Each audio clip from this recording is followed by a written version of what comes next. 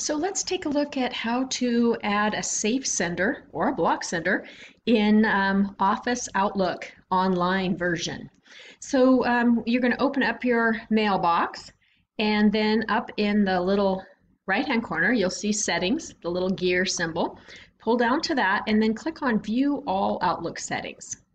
Okay, in this layout now you are going to see um, junk mail. Click on junk mail. I know that doesn't sound like you can add a safe sender there, but you can.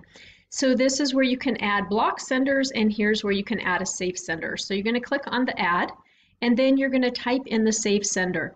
Now, if you aren't sure exactly who the safe sender is coming from, for example, eventbrite.com, you don't know if it's going to be at info at Eventbrite or help at Eventbrite or no reply at Eventbrite, then we're just going to use a star um, or an asterisk and then put at eventbrite.com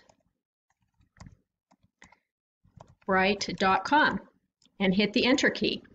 And now, anytime Eventbrite sends me something, it doesn't matter who at Eventbrite, a specific person, it will get to me because this is called a wildcard so that anything that comes from at eventbrite.com should get through to my mail service. Don't forget to scroll down and click save at the end when you're finished. And um, now that person's email should get through to you.